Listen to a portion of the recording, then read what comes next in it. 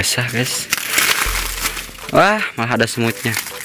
Nah biasanya juga semut uh, bersarang di seperti ini ya. Nah sarangnya uh, sebelahnya mengandung air dan sebelahnya juga uh, apa sih garing. Nah jadi si semut uh, bersarang. Nah ini entah semut apa coba kita lihat kita coba tangkap. Nah ini semutnya ya.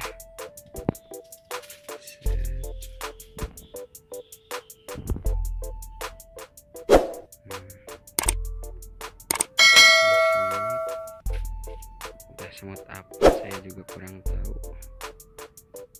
Nah, semut ini biasanya sih nah, di pohon pisang yang sudah membusuk dan kering dia suka sekali. Yuk perjalanan kita masih cukup jauh. Kita lanjutin lagi.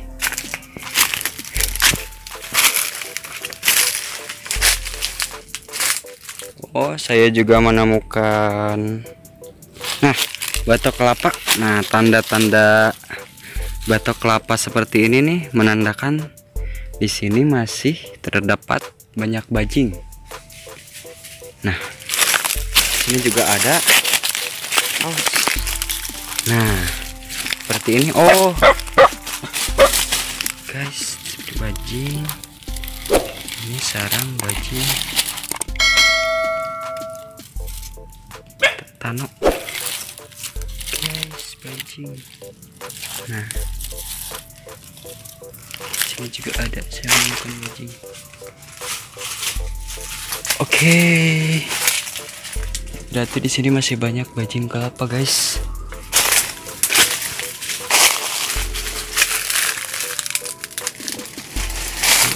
Maju lagi.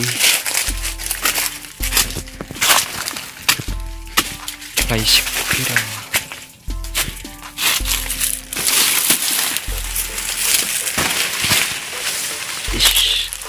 saya juga uh, membawa senapan untuk berjaga-jaga dari hewan buas. Bukan untuk berburu namun untuk berjaga-jaga.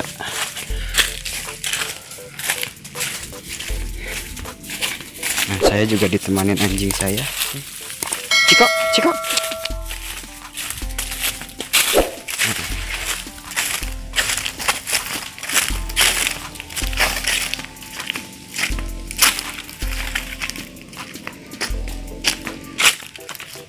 Sini Cika.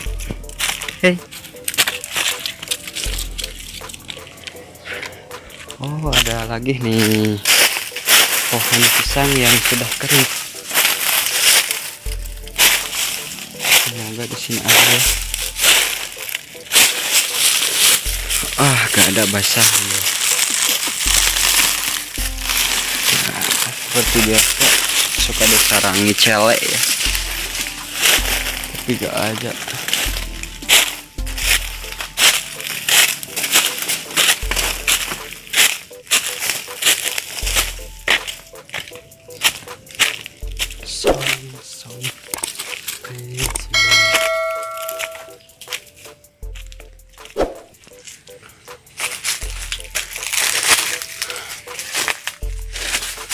Oh, saya juga menemukan semut rang-rang.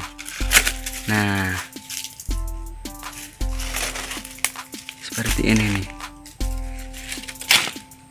Uh, atau kroto ya guys suka diambil uh, telurnya.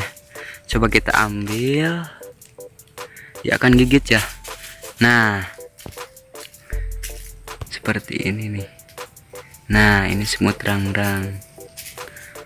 Dia akan gigit terus uh, mengeluarkan cairan itu mengeluarkan racun uh, mengakibatkan apabila dia uh, menggigit dia akan terasa sakit juga uh, membuat seperti luka bakar. Nah banyak sih. Nah seperti ini nih. Dia lagi ada uh, naik di atas pohon. Nah dia bersarang di atas sana. Nah di pohon apa ya? Saya kurang tahu uh, dari uh, pemanfaatan si semut rangrang ini biasanya sih diambil uh, telurnya untuk memancing ikan. Dan juga uh, seperti pakan burung. Jadikan pakan burung sebagai supplier untuk uh, si burung kicau. Seperti burung uh, murai kacer kacamata dan berbagai uh, burung lainnya.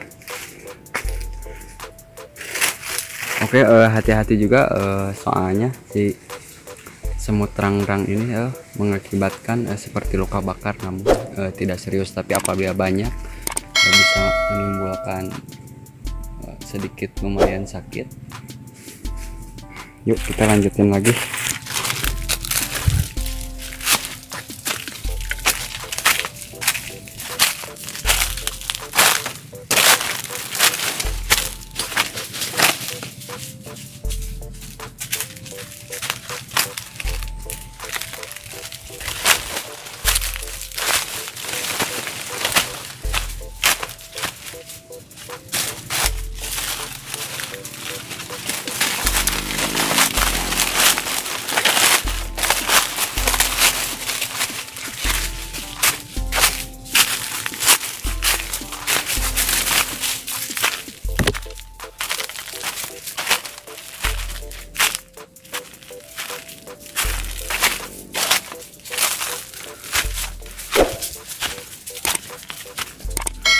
Oh saya juga uh, menemukan.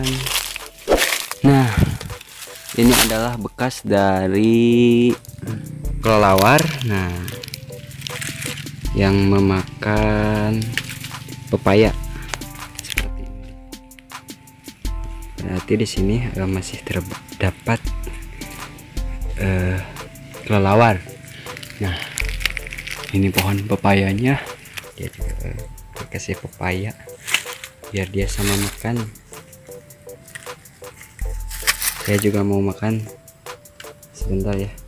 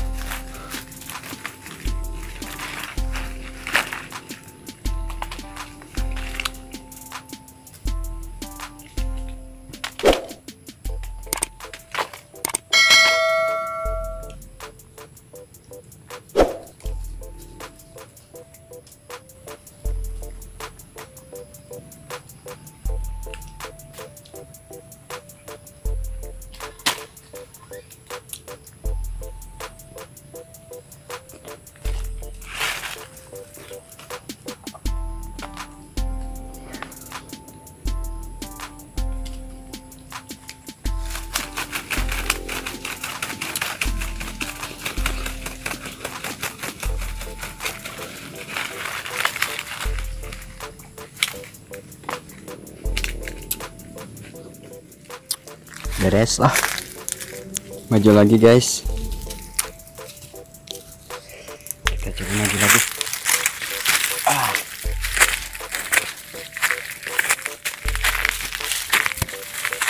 oh, ini juga ada salak lagi guys.